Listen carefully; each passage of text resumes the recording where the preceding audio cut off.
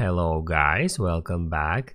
In this video I'm going to show you how you can easily enable airdrop for everyone for 10 minutes. Be sure to watch the video to the very end so you don't make any mistakes and of course do not forget to like this video and subscribe to my channel. So Let's begin and the first you should do is swipe down from the top right corner to open up Control Center.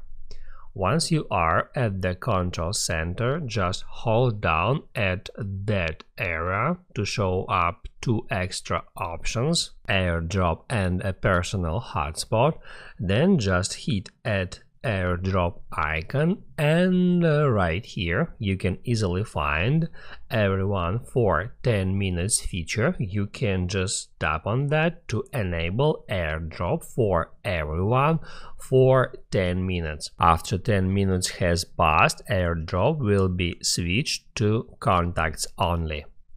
That's it now you can write down in the comments below if you have any questions about that tutorial and also I recommend you to check out my iPhone tutorials playlist which you can easily find in the description.